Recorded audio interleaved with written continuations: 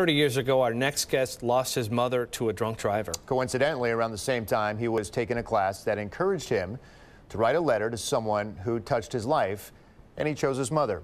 A few days after receiving that letter, she was killed. That experience led to his working to his work encouraging people to figure out who they would write a letter to. It is a story he tells in the book, The Last Letter, Embracing Pain to Create a Meaningful Life. Andy Chaleff joins us in studio this morning. Welcome, Andy. Uh, take me back to that time 30 years ago when you, when you penned that letter uh, to your mother, not knowing what would happen soon after. Yeah. Um, it's funny because every time I share it, it, it, you almost feel the emotion of that time. So I always keep Kleenex with me because it's, a, it's, it's, it's a real experience. But uh, what I realized at that moment was that there was, in allowing myself to imagine that my mom might not be there, it allowed me to write in like a beauty that I otherwise wouldn't have been able to touch. So mm.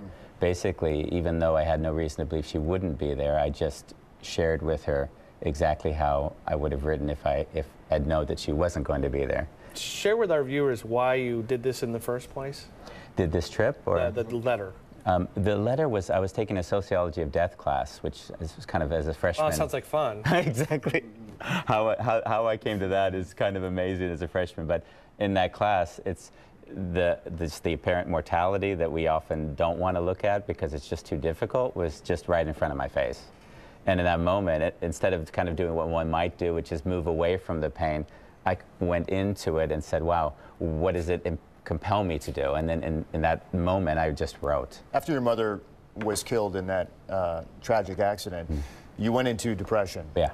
And, and not for a year or two, you, you write about being decades. Yeah. Um, what made you suddenly confront that? What happened in your life? You know, I, what I see often is that we there's patterns that repeat themselves, and my pattern was I would get into relationships and I couldn't receive love because it was just too hard. I mean, once you've lost someone that dear to you, it's almost in loving someone you risk losing that love again.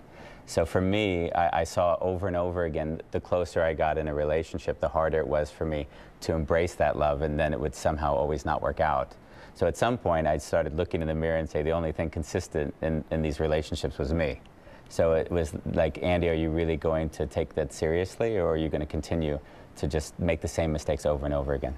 In so. the process of uh, writing your book, uh, do you think that there are a lot of mistakes that ordinary people make when it comes to, uh, I'll tell them I love them when I see them next time, or I'll wait for the next opportunity to do it?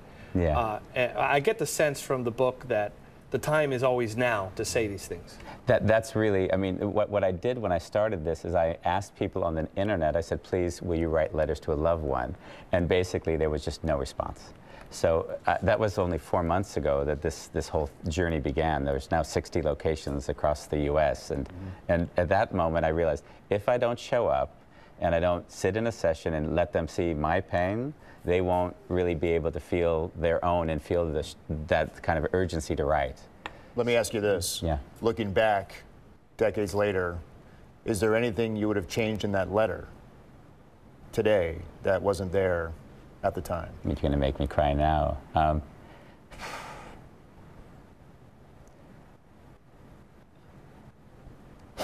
yeah. Yeah. I'll miss you. I think when, before you lose someone, you don't actually know. You don't know how, how much it's going to hurt, how much, however you prepare for it. Mm. And I think the 20 years that I moved away from that pain, clearly, it didn't serve me.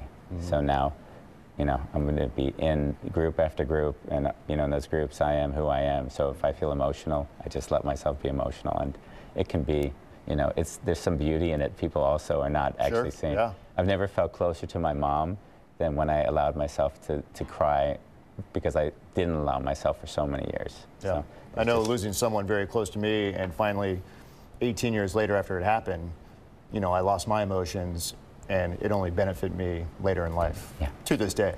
Yeah. So, Andy, thank you for sharing. Um, what a wonderful idea, the last letter. Uh, Andy's actually going to be hosting a workshop tonight in San Francisco. We do have more information about that on our website at ktvu.com. Look for it in the web link section under the Mornings on 2 tab. You can also find it on the KTVU uh, mobile app. Uh, Andy Chaleff, The Last Letter, Embracing Pain to Create a Meaningful Life. Thank you for sharing your Thank story. You both we'll be right back after Thanks the break. Thank you.